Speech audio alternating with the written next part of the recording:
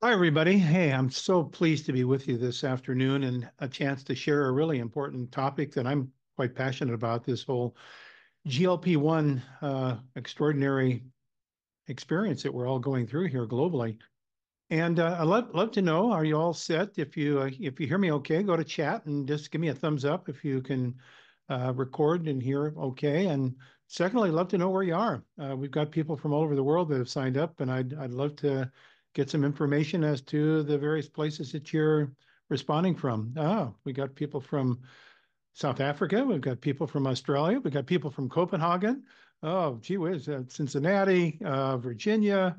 Uh, wow, what fun! Look at look at this. Well, this is the the beauty of this media that we're working on these days. A chance to see a a global uh, a global audience sitting here in uh, Bainbridge Island, Washington this this afternoon. So so thanks so much, and a, a, thumbs up to all of you. I hope I can share with you some uh, some news to use. I think I can over the course of the next hour on this uh, important topic of um, GLP-1 and its relationship to the future of healthcare. So thank you again for being part of the of the series. And let me, if I can, I'm going to share my screen and uh, and we're going to have at it here. So get your um, five position harness in place and away we go. So GLP-1 in focus, bridging the gap between nature and innovation. And the reason I put nature in there is that this is a natural molecule, glucagon-like peptide 1. So we want to put it in the right context as we're discussing it. Let me just say a couple of quick words before we get into the material at hand. So this turns out, I just thought about this today, that this is my 50th anniversary year of being involved in the nutritional field as a, as a professional. 50 years ago, I was a, a professor of chemistry and environmental science, and uh, we published our first papers on vitamin E with my uh, my graduate student at the time, and that kind of birthed me in this whole field. Uh, it's hard to believe a half a century has passed, but mm, a lot of things have happened. One of the things that we know that's happened, obviously, is that we as a global community have got fatter, particularly in the Western world. Uh, obesity has become a major pandemic of its own. And it begs the question, why? And we often think, well, it's because we eat a lot more food, we have ultra processed diets, and all of that then creates this obesity epidemic. And it is true that certainly the composition and the quantity of our diet, the calories that we're consuming, does contribute to this obesity problem. However, and this is an important fact, the increase in the average weight in our population per person does not track with the increase in calories. In fact, the weight has gone up faster than the calories. So what's going on? There's got to be something beyond calories. And that's going to be really the focus of this discussion. I've been speaking for now over 30 years about food as information. It's not just calories, it's not just vitamins and minerals. It brings information from which our genes then express themselves into what becomes our phenotype, how we look, act, and feel. And therefore, if we really want to understand the obesity epidemic, we have to understand more than just calories. We have to understand the composition of calories as it relates to the information those calories are bringing to our body and how that, as a signal or signals, is translated into our function and how we look, act, and feel. And our body composition is part of that. So I want to emphasize that this story about GLP 1 is a very symbolic and in, enigmatic uh, way of thinking about food as information because this family of enteroendocrine hormones is a response to information that our body is getting from our diet. Okay, with that in mind, let's move ahead and see what we can we can find about the uh, the connection. So for me, you probably know I've been around in this, as I said, for half a century. Hard to believe. Um, this information I'm presenting is in part related to my five decades of experience, but also related to my more recent experience as a founder and president of Big Bold Health, which I'm very proud to be part of this um, this organization that's really focused on personal immune health. And um, we've made, I think, some really significant progress the last few years in starting to interrogate and decipher uh, the signals of the immune system and how we optimize its function. So it's with that uh, that I continue on the program. So let's talk about GLP-1 agonists, a new recipe for success. That's the title of this JAMA uh, March 26, uh, 2024 article. The author of this uh, article is the um, celebrity, um, well known um, opinion leader in the field, Dr. Darius Mozaffarian, who is uh, in charge of the Food as Medicine program at Tufts University in, in Boston. Um, and he was uh, discussing this new recipe for success.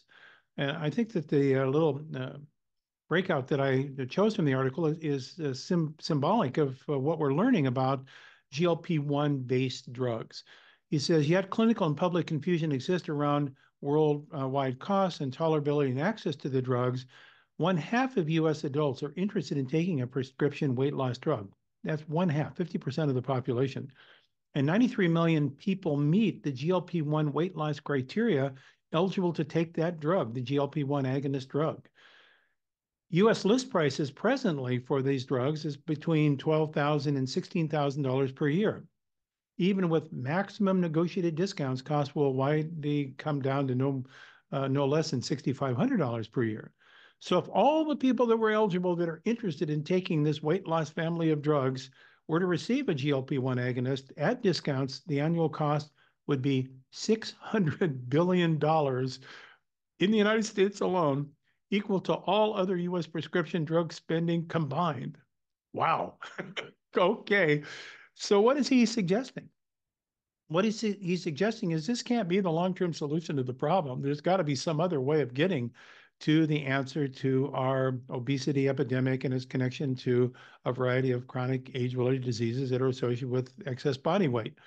And so he's suggesting this uh, combined stage GLP-1, um, what, what, I guess you would call food as medicine approach, in which uh, the healthcare practitioner, uh, allied health sciences, dietitians, health coaches, and so forth we're involved in delivering a recipe to support a patient's long-term weight management to get them off of the GLP-1 agonist drugs after maybe using them for a short period of time as a booster rocket. Now, the reason I bring that up is that um, recently, uh, Mark Ulf Schneider, uh, the previous uh, CEO of arguably one of the largest food companies in the world, and that is Nestle, uh, made a statement to the public and his board that he is not worried about these GLP-1 agonist uh, drugs as a as a uh, food company because we should be designing foods that are supportive of GLP-1 and helping then for people to have success by utilizing available science to con, uh, construct the composition of foods that would ultimately lead to proper weight management by regulation of GLP-1 and other the enteroendocrine hormones. And I think that's a very thoughtful and visionary approach that, really syncs up with what Dr. Mozaffarian is talking about in this uh, recent JAMA paper about this combined stage GLP-1 um, uh, food as medicine approach. So with that, let's go on to ask, what do we know about GLP-1? Well, we started to recognize that this um, this hormone that is produced by the body has many, many benefits. It's not just solely on reducing appetite or solely on brown fat uh, activation, mitochondrial uh, influences, but it influences across the range of uh, many, many organs positive uh, health benefits. And in fact, this um, uh, recent paper in Maturitas uh, talks about the uh, GLP-1 agonist drugs as a key to turn back the aging clock, biological age. And it uh, helps in things like neurodegenerative disorders. It helps in cardiovascular disease. It helps in type 2 diabetes. It helps in um, areas of uh, cancer prevention. So there may be many, many beneficial effects uh, for GLP-1 agonists beyond that just solely uh, for weight, uh, weight control. And if we look at the multiple clinical benefits, this was discussed in a recent issue of Science Magazine in the July 19th issue of 2024. We can see that there are many uh, powerful effects of uh, GLP-1 agonists that tie themselves together with reduction in whole body inflammation. And I think that's an interesting process, uh, this chronic, what's called sometimes inflammaging uh, that's associated with the relative risk to many different disorders, myocardial infarction, atherosclerosis, um, chronic kidney disease, kidney failure, uh, metabolic uh, liver disorders related to MASH, and uh, and neurodegenerative disorders um, associated with um, uh, early stage dementia.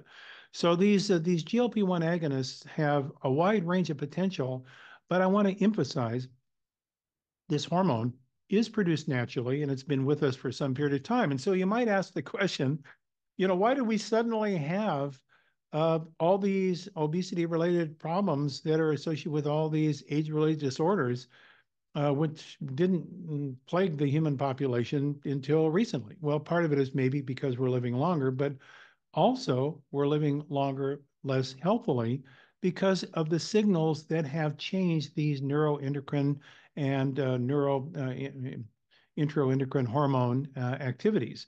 And it's those that we'll be talking about. The signals I said, uh, food is information that play a role in this whole uh, pandemic that we're starting to see as it relates to uh, these conditions.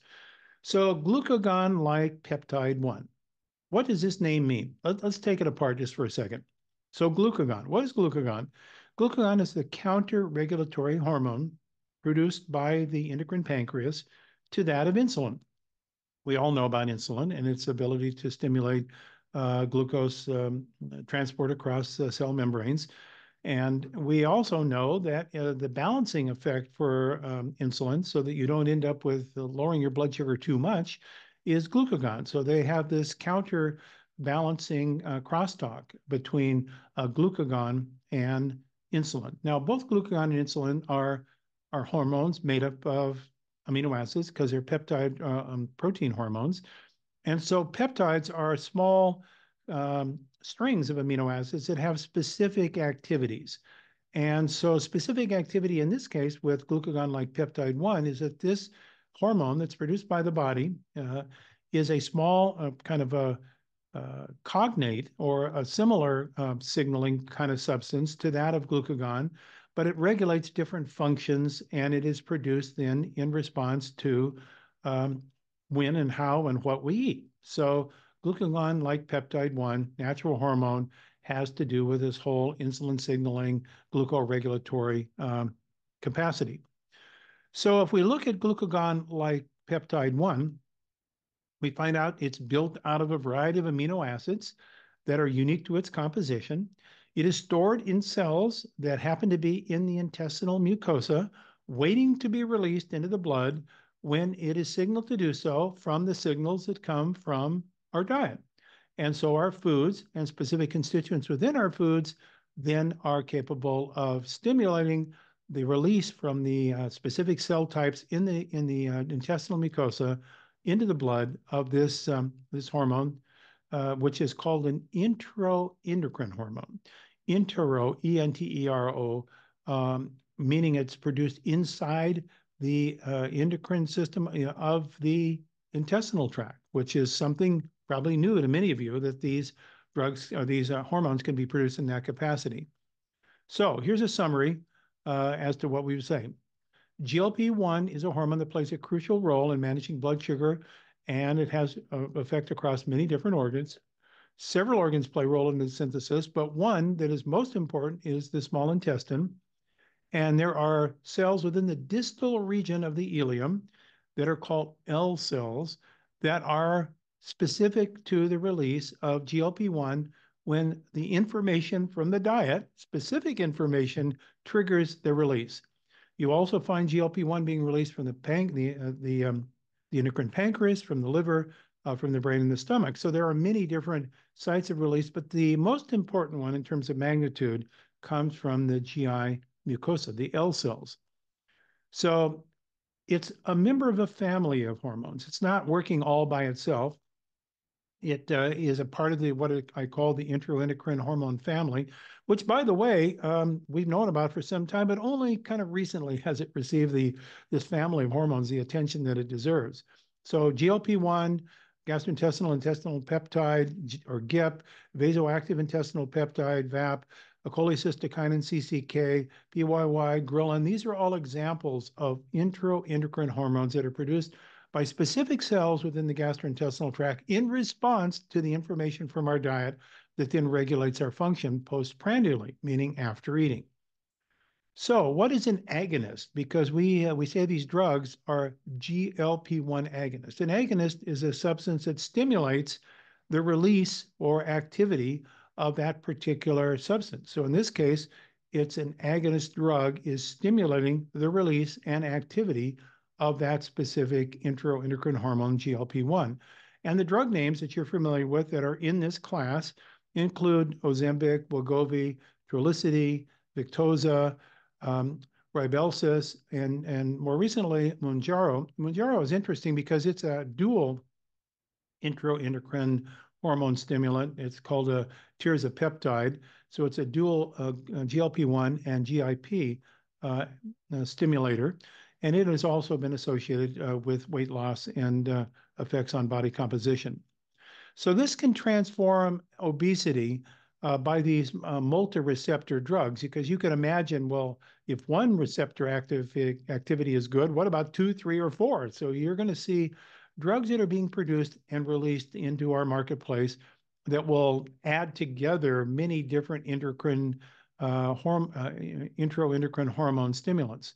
And so the, the tirzepatide that I just mentioned with Mounjaro is just got two, but one can uh, consider that there are drugs in, a, in a kind of work right now that have three stimulants of these enteroendocrine hormones. So this uh, is going to be a horsepower uh, race here to see who can get the biggest part of market share and the most activity of, of these, these compounds.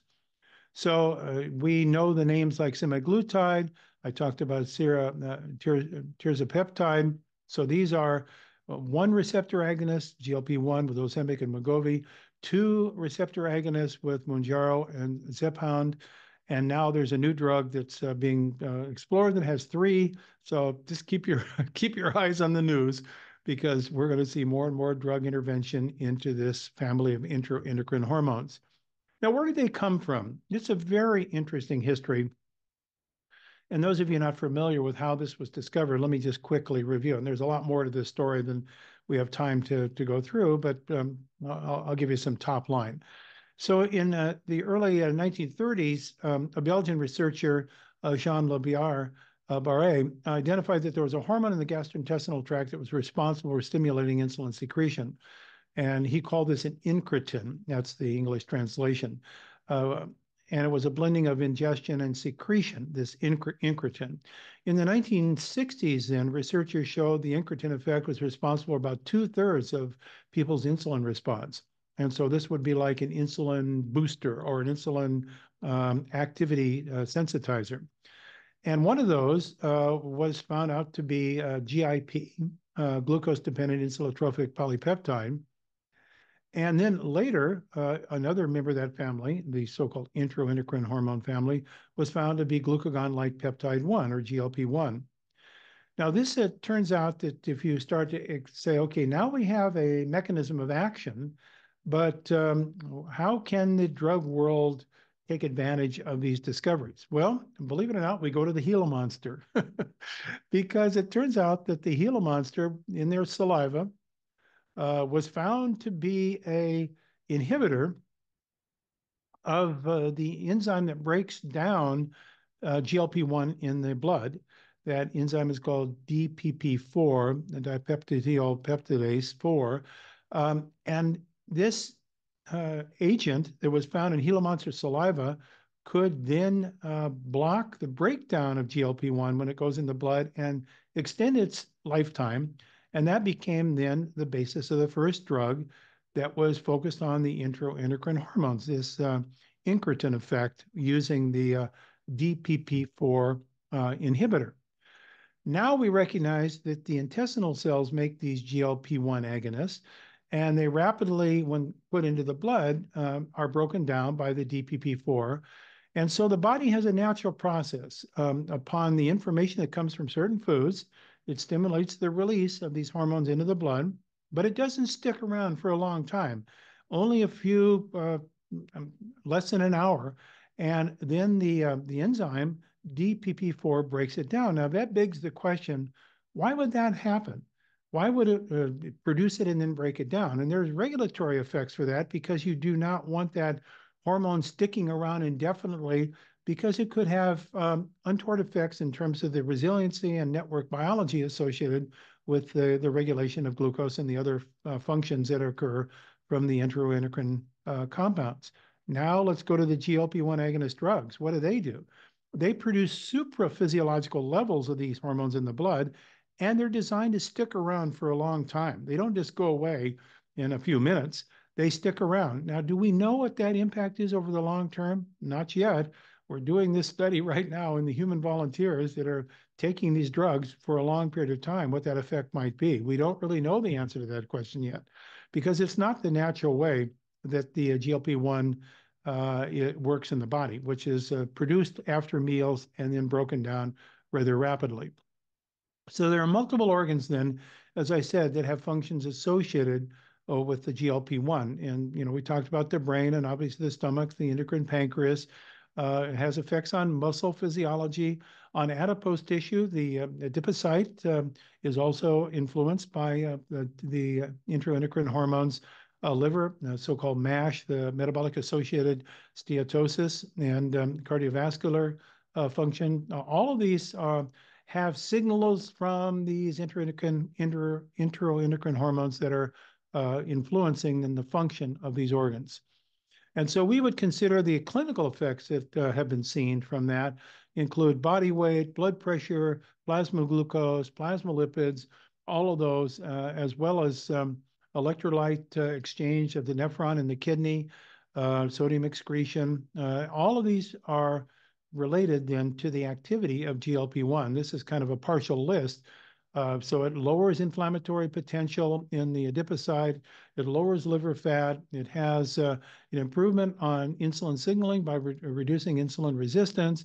It lowers appetite and increases satiety.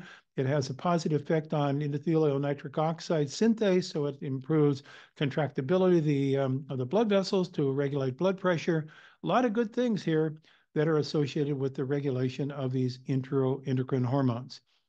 Now, what are the problems that one might then suggest uh, could come from long-term use of GLP-1 agonist drugs? Interesting question. Well, first of all, we already talked about the expense. They um, are not cheap, and they're not reimbursed at, at present. Uh, they do have a side effect uh, that is seen in about uh, a quarter of the, of the people that take them, nausea, vomiting, and diarrhea. They can lead to hypoglycemia, especially if they're combined with other drugs that lower blood sugar. So that has to be concerning. Uh, there is a small percentage of people who have taken these drugs that end up with pancreatitis, bowel obstruction, gastroparesis, and, and other kinds of uh, gastrointestinal complaints. It's not common, but it has uh, occurred. And, and, as more people take these drugs, obviously you're going to get more people that have these complaints.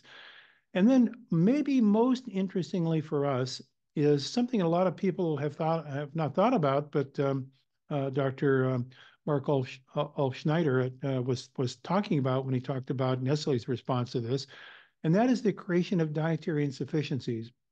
Now, what do we? Why would we create dietary insufficiencies? Because if you create then a um, appetite suppressing effect, so you're eating less calories, you're also eating less calories from the foods that you were eating, which were probably marginally nutrient adequate to begin with, maybe even not adequate. And now you've made that problem even worse. So now you've exacerbated the potential for nutrient insufficiencies and uh, the problems of metabolically that occur downstream from that. And so now you get into the potential for metabolic dysfunction. So that means we need high density, nutrient density foods um, in order to go along with the GLP agonists so that we don't end up inducing nutritional insufficiencies in individuals. We'll come back uh, to talk about that more, but I think it is an important part of the story that's emerging around these uh, GLP agonist drugs. Now, how does GLP-1 connect to me the metabolism of sugar? Well, this mechanism is, uh, is being explored extensively because of the uh, the use of these medications. So I'm just giving you a little cartoon here that kind of summarizes a part of what we've learned about how GLP-1 connects to the metabolism of sugar. So you know that blood sugar is transported uh, across the um, cellular membrane uh, by a glucose uh, transporter, GLUT4, uh, and that that then transports uh, glucose ultimately into uh, the mitochondria, where it can be broken down into um, into energy through the glycolytic pathway. GLP-1 then stimulates through its receptor a whole signaling process that travels through the uh, mammalian target of uh, rapamycin or mTOR, and you've you've heard about a lot of mTOR and um, the hy- hypoxic uh, induced factor 2 alpha. These are associated uh, with um, longevity. Uh, they're associated with positive influences on uh, cellular metabolism. And so we get this complex signaling effect that occurs as a consequence of um, improving glucose uh, metabolism, improved um, mTOR and, and AMPK kinase, adenosine monophosphate kinase activity, and how that influences then the, uh, the proper regulation of insulin and, and cellular metabolism. And as I mentioned, that connects then to the metabolism in many organs. Uh, and one of those tissues that is really important in this story is the immune system, because the immune system is a sugar hungry cell type. It, uh, it needs a lot of energy in order to do its function, just like the um, um, uh, in in the nervous system, the um, uh, the brain requires a lot of energy uh, through proper glucose management, and so the immune system is really dependent also on the activity of GLP-1 and how that translates its message out through many different immune cell types and ultimately influences uh, this process of cellular balance in many organs. So I think again we tie immune system function to GLP-1 signaling. And again, I want to go back to say Historically, the way this worked was by eating the right foods with the right dietary information that created the proper regulation of these enteroendocrine hormones. Now, what about diet its a relationship to GLP-1 and this problem of DPP-4? Well, we know that uh, when eating a, a diet that's really supportive of proper enteroendocrine function, meaning the signals or the messages from that diet. Remember food is information. To keep coming back to that concept that the uh, uh, the, the digestive um, system the uh, the enzymes that are present will ultimately stimulate the um, the release from the receptors on the uh, small intestine the so-called L cell receptors that will release uh, GLP-1 that will go out into the blood and it will have its activity in improving all those functions that I just mentioned but will then have a only a certain length of time that that message is retained in the blood, and then it is broken down by the enzyme DPP4. So these are these this relationship is a very important relationship that is a natural part of the process of, of regulating these functions over time. In imbalanced diet, which we have as a culture been consuming for some time, we all know that, some people call that the standard American diet or the SAD diet or SAD diet. It has a significant connection to this imbalance then of the enteroendocrine hormone signaling, particularly GLP-1 signaling. And so it also induces another thing, and that is that that uh, altered diet, that ultra-processed diet, that um, uh, SAD diet, also induces alterations in our gut microbiome. And alterations in the gut microbiome have been found to produce dysbiosis. Dysbiosis then does what? It sends different signals to the receptor sites on our GI mucosa that regulate GLP-1 secretion. So dysbiosis then induces alterations in GLP-1 secretion. So you'll notice we're getting multiple mechanisms by which we have produced by the way we eat and the way we live and the toxins we're exposed to on the alteration of uh, enteroendocrine hormone regulation of blood sugar and the relationship that has to our immune system, all of those things then have downstream adverse effects. So if we want to talk about upstream or root cause, we've got to go up to the signals that the diet then sends downstream that regulates these processes, such as um, the incretin uh, um, uh, mechanisms associated with GLP-1. This also connects to the, the nervous system through the, the vagus nerve, this, this long, you know, winding pathway from the central nervous system, a cranial nerve that innervates the GI tract and goes down through the length of our body and sends signals out back to the brain. So both efferent and afferent. And that we now know that the GLP-1 and its relationship with uh, with the diet that we're eating, the messages we're getting the diet influences a vagal nerve signaling and has an effect on the, um, the, hypothalamus of the brain. So in part, this also talks about regulation of appetite because we know the appetite control center resides in the brain. So we uh, we we we see this mechanism of this crosstalk, this network among the immune system, gut microbiome, nervous system, and the enteroendocrine system all communicating together. They magically and beautifully do that when they're given the right information from the appropriate information that comes from our diet. The problem is we haven't been getting the right information from our diet. We've been getting disinformation from the diet, produces disharmony well, relative to this process, and produces dis ease in the person who is consuming that diet for a long period of time. So GLP-1 and other endocrine endocrine hormones, which are released by the intestinal mucosal cells, are an important part of this story. So if we really look at these hormones, again, there are many uh, in this family. And I, I want to again just remind you that this is a family. It's not just GLP-1 by itself. So we have uh, serotonin, uh, over half of the body serotonin is produced, almost two thirds actually, in the GI mucosa. Gastrin, secretin, enteroglucagon, and we already talked about VIP, cholecystokinin, CCK, uh, motilin, somatostatin, uh, GLP-1. All of these are uh, gut hormones as part of the endocrine system. And here is the aha.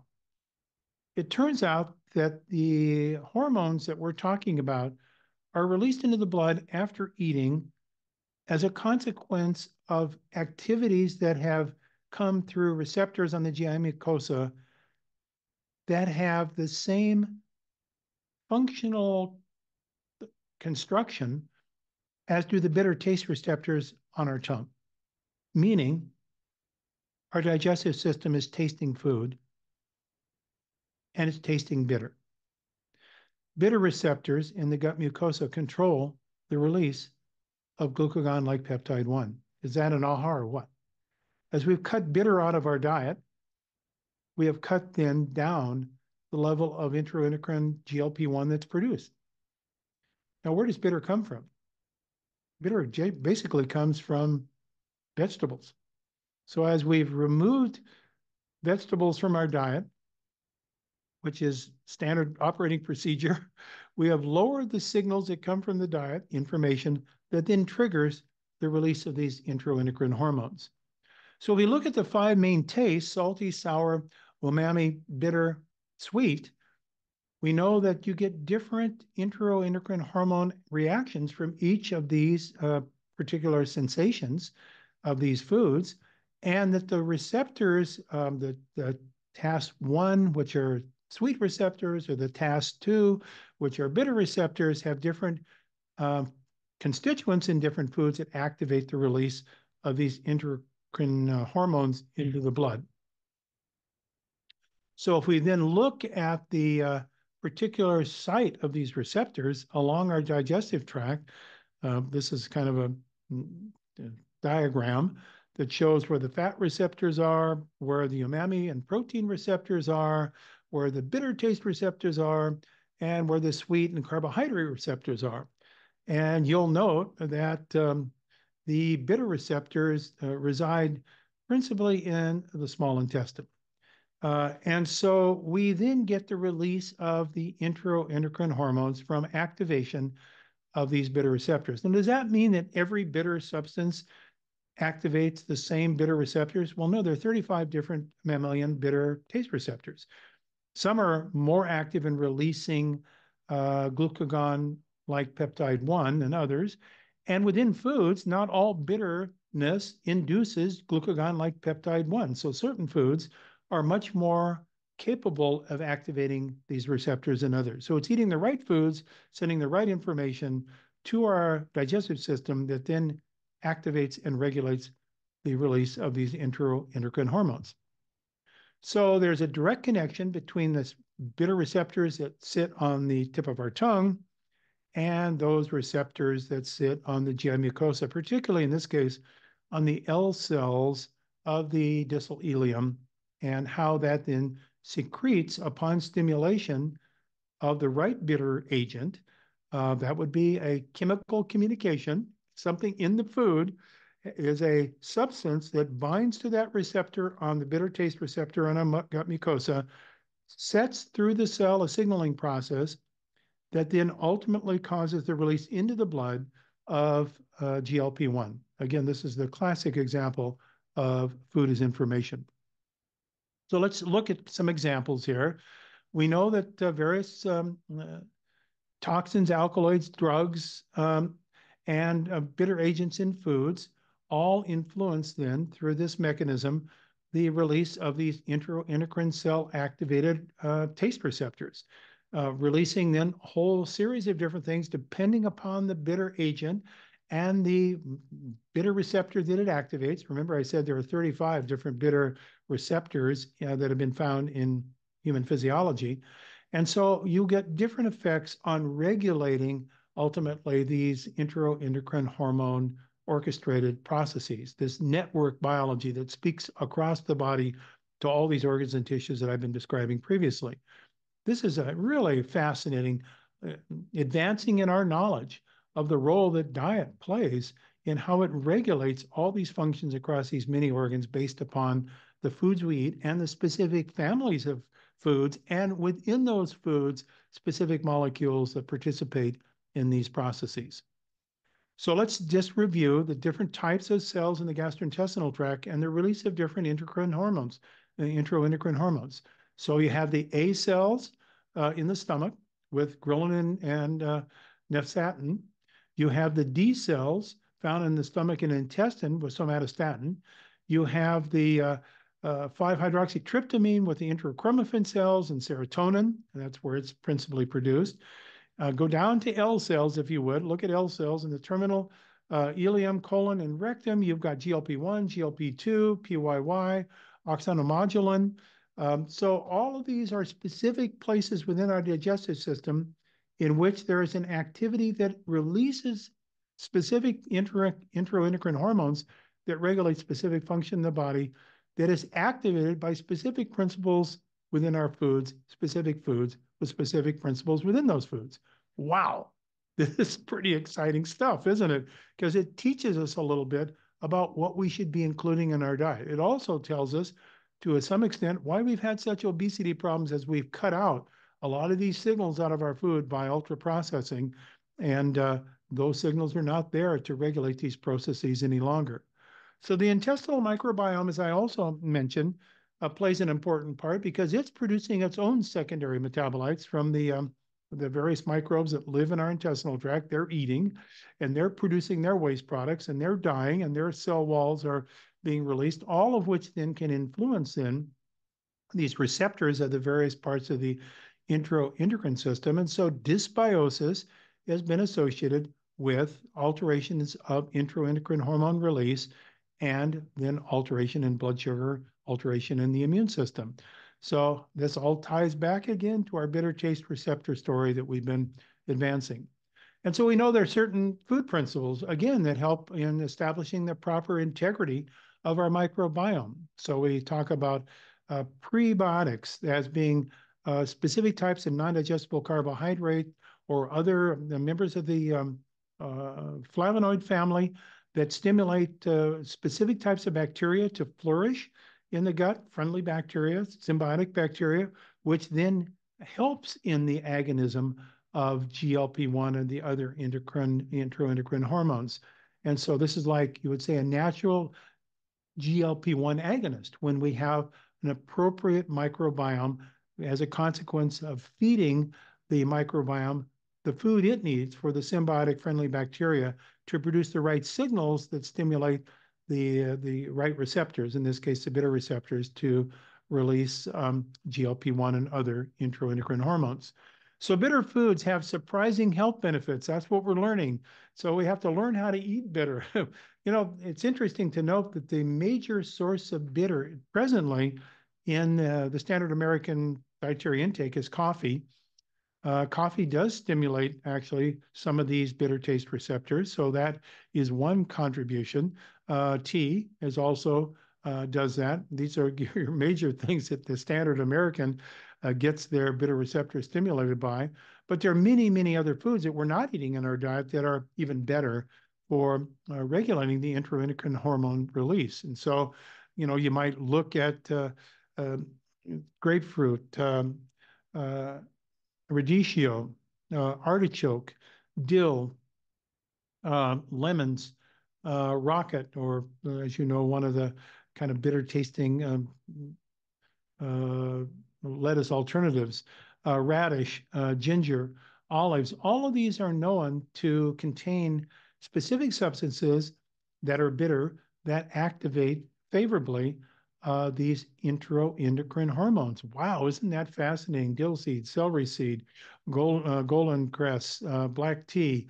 Um, I, I think this is really a fascinating chapter in how we design diets to help support proper GLP-1 release. And so bitter taste receptors are a key target to understanding the effects of how nutrients play roles and the family of nutrients the, that relate to the bittering activities that activate the release of GLP-1 have been found within the polyphenol family, the flavonoid family, that then affect uh, blood sugar levels, affect body weight, homeostasis, and have these very important roles to play in the regulation of ghrelin, GLP-1, cholecystokinin through these receptors that I've been mentioning. Wow, isn't that powerful? So think of flavonoid polyphenol rich foods. The the more the better maybe if they're attached them if they're attaching to the right receptors. Well one of those foods that we've been studying extensively uh, which happens to have a very very high level of these uh, polyphenols and flavonoids that are associated with activity of GLP-1 agonist as a GLP-1 agonist is the 4,000 year old food Himalayan tartary buckwheat. And I I happened onto this and recognized that in the American diet. We kind of lost this food uh, over 200 years ago. It wasn't even available in the United States. So we're back to growing it again. And we recognize uh, the history of this is quite powerful. It's associated with the longevity, kind of a blue zone food, high levels of immune active polyphenols. It's gluten free. It's not a grain, but a fruit seed. It's very high in unique um, prebiotics um, that are very useful for uh, supporting proper microbiome integrity. It is known to stimulate GLP-1. It has favorable effects on blood sugar. There are over 100 phytochemicals that operate synergistically, and it's known to activate the uh, GLP-1 receptor in the small intestine. And it is a member of the bitter family of high protein vegetables. So it, this is one of those kind of superfoods that fits into this category of contributions to improving uh, GLP-1 uh, influence. We uh, we know that um, dietary supplementation with um, Himalayan tartary uh, buckwheat uh, polyphenols has been proven to, to increase endogenous glucagon-like peptide 1 release, and it facilitates glycemic control. It has a favorable effect on immune system function. And so we're starting to recognize uh, when you start studying these things in detail, this is kind of food chemistry applied to food as medicine that uh, there is something we can learn about the history that's back to the future that these foods really participate in the regulation of the natural processes of weight control, sending the right message from our food to regulate the enteroendocrine system. So we know that there are other foods that do this. Uh, Momordica uh, or wild uh, gourd, bitter gourd, uh, bitter melon as it's sometimes called, also is a GLP-1 agonist, and it probably accounts for why it has been historically known to be a, uh, a food that is associated with proper blood sugar control and insulin regulation. Um, we know that uh, cacao, which is a polyphenol-rich uh, uh, chocolate ingredient, uh, is known to have a GLP-1 agonist effect and influence postprandial glycemia, insulin, and incretin secretion in healthy participants. So this is another member of this family of food as information that signals through the enteroendocrine system. Uh, we know that uh, hops, um, you know, those of you that love hoppy beers, uh, it also has uh, a positive effect on the GLP-1 secretion and uh, maintenance of healthy weight. This is a, a randomized controlled crossover trial looking at a concentrate of um, the hops-derived um, flavonoids that influenced in these processes. And we now know that even uh, the organs of the body, like the reproductive organs, are speaking through the bitter receptors. This is a study that we were involved with a number of years ago, looking at uh, PCOS, polycystic ovary syndrome, showing that the ovaries actually have bitter receptors that stimulated release then uh, uh, enteroendocrine uh, functions that regulate hormone, androgen, estrogen balance, and uh, can help in uh, promoting proper balance, um, at least in this animal model of uh, PCOS. So you notice this story cuts across so many different clinical conditions. And when we've eaten the wrong things that are devoid of the right messenger molecules, and the message that we're getting is one of inflammation and, and alarm, not the inflammation of, uh, of regulation, then we start getting these um, downstream effects that we see as the pandemic of obesity in our culture. So we recognize that these bitter receptors are really important uh, for uh, the function of many, many cell types. This is another recent paper showing that they influence the function of uh, one of the types of uh, cells in the in the ovaries, the granulosa cells, um, kind of confirming what we uh, published from our research uh, a few years ago. So you know, many organs are tasting, if I can put that in air quotes. Um, and the information provided by these bitter foods that are the specific polyphenols uh, that we now know activate these receptors produce regulatory effects um, that uh, cut across all organs.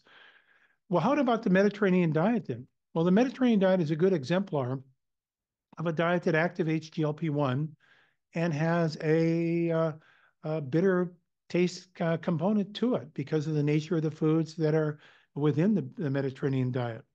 Uh, this is a recent paper looking at the Mediterranean diet, increasing glucagon-like peptide and oxyntomodulin uh, compared with a normal vegetarian diet in, in patients who have blood sugar uh, insulin resistance. And this is a, a randomized controlled crossover trial in which they showed that the people that ate the Mediterranean diet with virgin olive oil and, and more uh, vegetables, um, particularly the bitter family, that they were capable of having enhanced uh, regulation, glucoregulation, insulin sensitivity, and, and body weight control than uh, people just on a kind of a garden variety, I use that euphemistically, uh, vegetarian diet.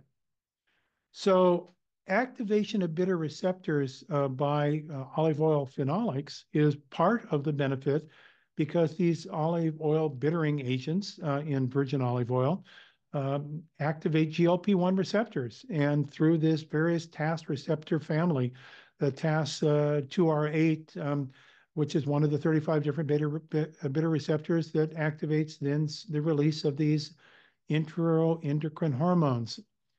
Can you see what I've been saying here in terms of food as information? I hope so. This keeps coming back, coming back to reinforce the story that we've been eating disinformation in our diet. It's been devoid of this information we need to regulate this class of enteroendocrine regulating hormones that help insulin, help control immune function, help multiple organ activities as a part of then seeing the pandemic of obesity develop. All of this is part of a new ahaism that we're developing mechanistically from this research.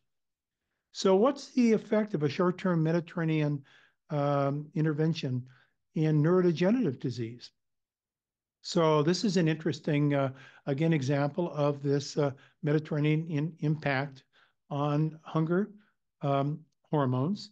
Uh, this whole family of uh, enteroendocrine hormones showing that uh, hunger and metabolism and the immune system are all positively influenced and therefore it influences brain function, brain activity in middle-aged, overweight, and obese women.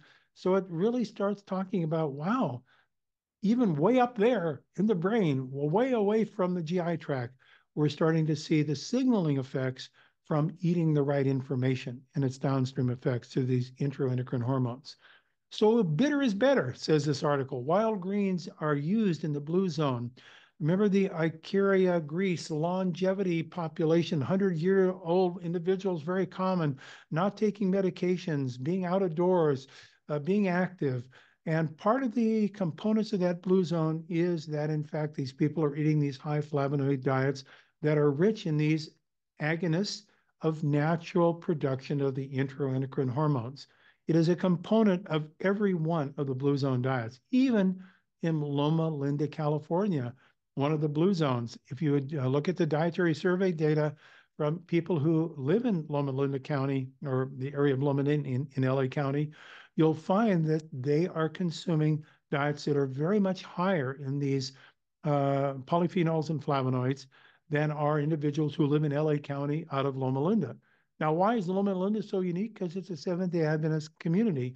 A lot more emphasis on vegetarian diets, a lot more fruits and vegetable intake, a lot more whole grain intake. So we're really dealing here with signaling eating the right information. It's a classic example of a city that sits right in the middle of LA, drinking the same water, breathing the same air, but having a very different longevity profile and profile of chronic uh, uh, illnesses as a consequence of getting the right signals from their diet that regulate their function. By the way, also lowered incidence of obesity. It's not because they're all dieting. It's because they're eating the foods that signal properly to regulate body composition. I want to emphasize that again. It's not dieting. It's eating the right foods to send the right signals for regulation of those things that control adipocyte function, fat storage, and metabolism. It's not just eating too many calories. That's what I've been talking about. So if we look at genetic poly polymorphisms at the bitter taste receptor, we find that those individuals who are bitter taste receptors, we call these uh, individuals that have um, super tasters for bitter, that they're individuals that uh, have different relationships to the amount of um, bitter they consume in their diet. And it influences then downstream the signaling that influences ultimately the enteroendocrine hormone release.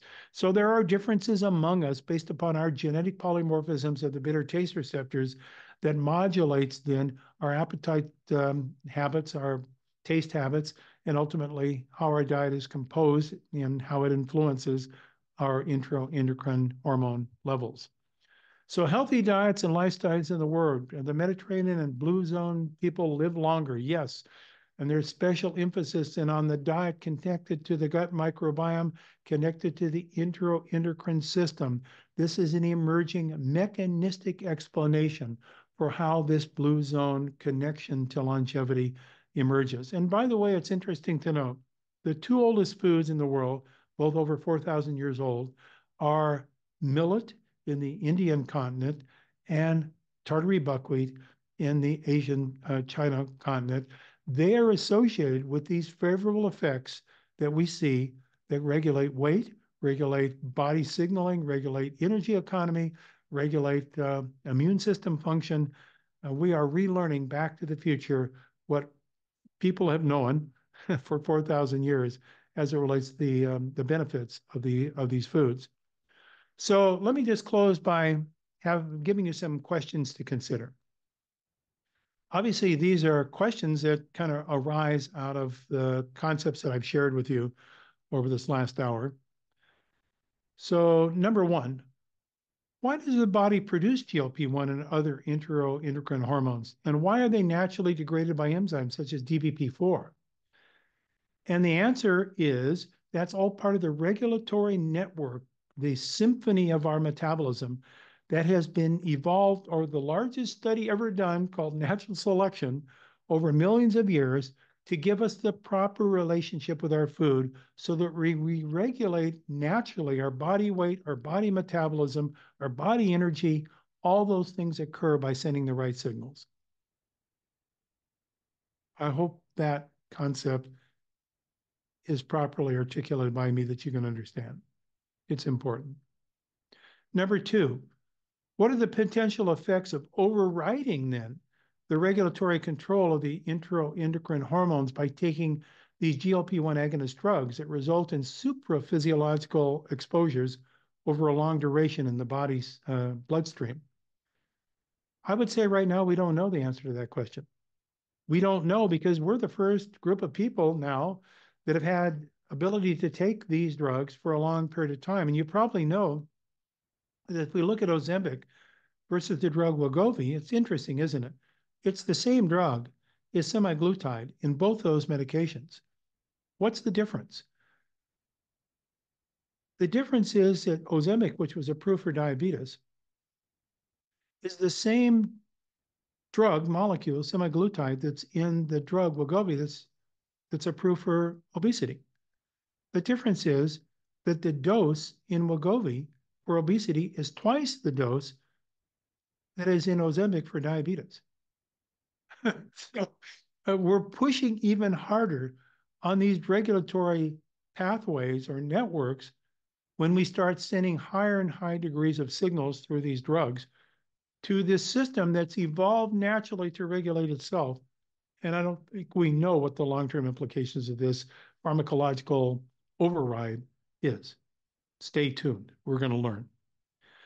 Number three, why should we eat in order to promote natural regulation of the enteroendocrine hormones and regulate weight and blood sugar? Well, that's a pretty duh question, right? The answer is that's what natural physiology is built around. That's our system that we have evolved over millennia, that we have in our inherent in our genes that gives response to our diets in certain ways, how that information is processed. And therefore, rather than just control calories and be in weight loss diets, maybe we should be eating the right information, foods like uh, tartary buckwheat and, and, and foods that regulate then these processes naturally that actually induce these favorable outcomes. Next, what have we learned about the role of specific bitter taste receptors and their bitter phytochemicals in plant foods in the regulation of GLP-1? This is a huge new advancing understanding of the role of certain members of the polyphenol flavonoid family and how they connect into the agonism of bitter receptors that then regulate the release of the enteroendocrine hormones that then have these multiple organ effects across the body. This is new stuff. We're, we're seeing this information become available, and now we're seeing it become available associated with longevity. That actually people who eat these kinds of diets and get these signals and they're in regulation are attributes that are associated with long and healthy life, longevity. This may be part of the longevity secret that we uh, have only started to learn or relearn. Uh, the blue zones maybe were an observation of that, but now we're mechanistically starting to understand that. So stay, stay tuned. As we're seeing more and more research going on as it relates to longevity, you're going to see many more, I think, studies talking about the connection between these uh, bitter receptors, agonists uh, in our diet, and how they connect into the release of these hormones that associate themselves with longevity. So how do we establish a healthy intestinal microbiome that contributes to the production and regulation of GLP-1 and other enteroendocrine hormones? The answer is you have to have the right kind of prebiotics. You have to have the right kind of GI milieu. You have to have absence of exposure to toxins.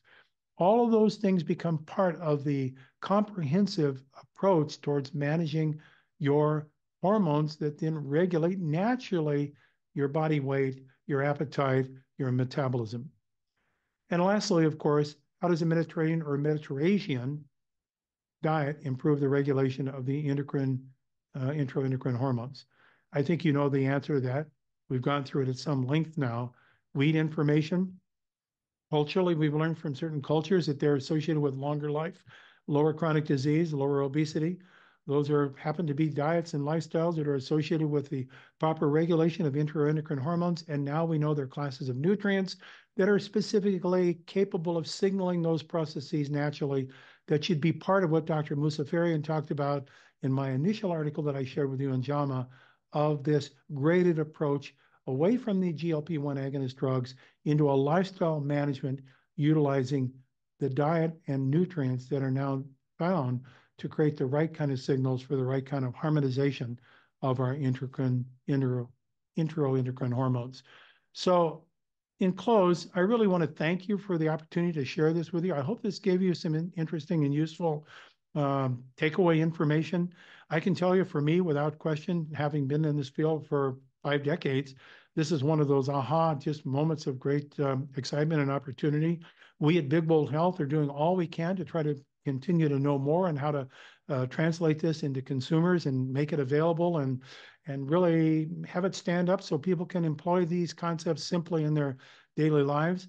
But we're on the threshold of moving away from drug dependency for weight loss into how we construct healthy lifestyles in ways that will really lead to long-term positive health outcomes, improved immune function, resilience, and long lives and healthy lives. Thanks so much on behalf of Big Bold Health.